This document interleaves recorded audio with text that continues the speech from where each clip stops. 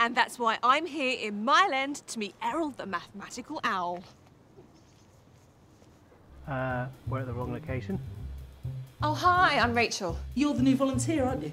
Grab an apron and get in the kitchen and help Denzel with the vegetables. Thank you. I'll catch you later. Okay. Hey, I'm here. Oh, hey, you can peel the potatoes. Okay. Can do the peeling. You're just in time. You wouldn't mind helping me lay the tables, would you?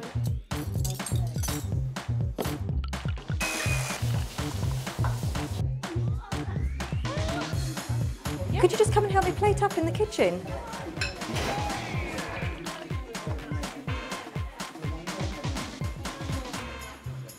Shall I clear your plates for you? Trifle over here. Trifle number four. You are welcome. Bon appetit. Oh, hey, can I give you a hand with anything? Yeah, sure. Can you help with the raffle? Next winner is around 8 times 10, 80.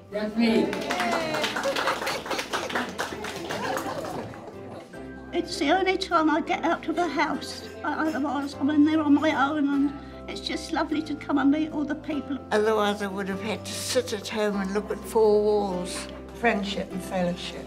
You know, to be actually among such lovely people, it made my day. Yeah. Not my day, made my week, my month, my end of the year. Thank you so much for today. Anyway, you were a great help. By the way, I forgot to introduce myself properly. I'm Sarah, and I'm the cook on Thursdays. Nice to meet you, Sarah. Uh, I think that makes me your new volunteer. It does. See you next week.